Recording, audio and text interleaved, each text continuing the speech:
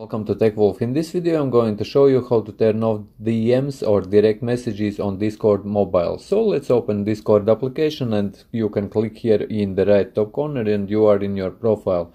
Then click in left bottom corner. Here on the left hand side you will see servers and chats which you have guys. Click on some server where you would like to turn off DMs. And here at the very top in the middle right you will see these three dots. Click on these three dots then scroll a little bit down and here you will see direct messages if you uncheck it you will not be receiving DMs or direct messages from this particular server to disable direct messages from all servers all you need to do guys here in the right bottom corner click on your icon and here click on privacy and safety. Scroll a little bit down until you will see allow direct direct messages from server just uncheck this and it will tell you server privacy defaults. You say yes guys and it will uncheck it and you will not be receiving any messages from any servers guys.